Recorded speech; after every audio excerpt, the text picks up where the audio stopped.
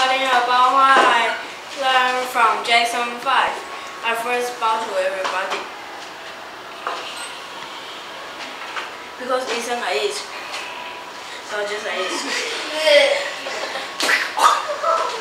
Hello everybody.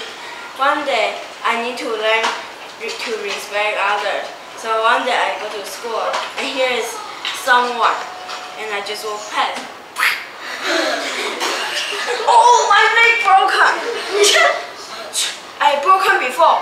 I here broken, here broken, here broken and and teacher just teach me.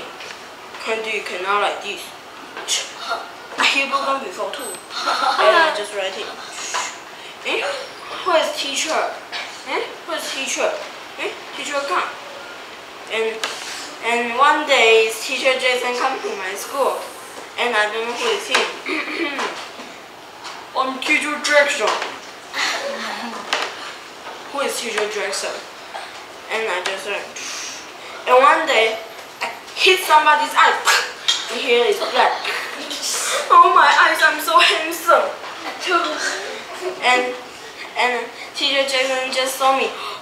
Candy hit people. No, it's candy hit person. And I and I just see, mm, it's okay. And and I just teacher Jackson just tell me, you cannot like this. And I just said, okay. And teacher Jason from this time and he just carry me. Candy, you cannot like this. Candy, you cannot like this.